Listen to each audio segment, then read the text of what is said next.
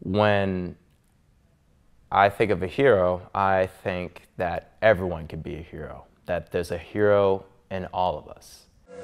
The My Hero Project uses the power of media and technology to honor the heroes throughout the world who battle daily against ignorance, intolerance, and indifference. Our team works to support thousands of teachers each year who use My Hero media resources to enrich learning for millions of students around the world.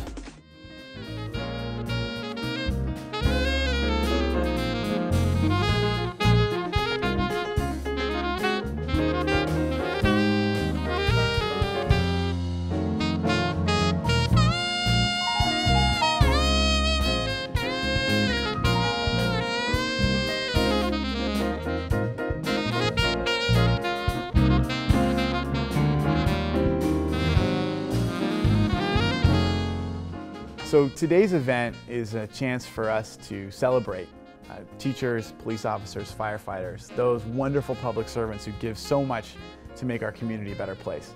We're celebrating the new ones, the ones who've just joined our community who are now stepping up to work to make our community safer, to educate our kids. Uh, and then also a couple very special folks who have devoted their careers, their lives to making our community better. And we're so excited to be here today to celebrate our wonderful public servants from education and law enforcement. And we really hope you enjoy yourselves uh, this wonderful evening. Right, for me, a hero starts with a commitment to do something great for other people, uh, a passion to do something to help other people.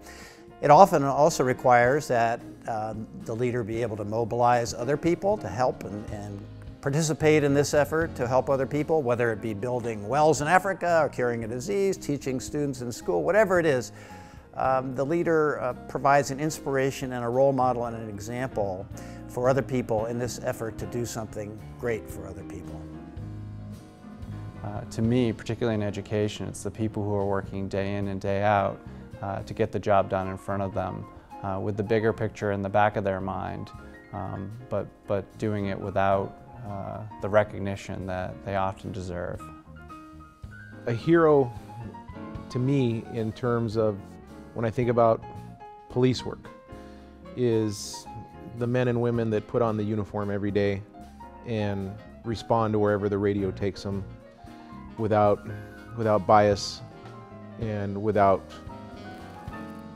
without forethought or you know for, for their own safety they don't it doesn't matter where what what's going on we go what a hero is is anyone a male or a female young or old who thinks of someone else first and is not necessarily thinking about their own safety or what's in it for them. They're coming from their heart and they're coming from their courage and taking action because they care about other people. That's what a hero is to me.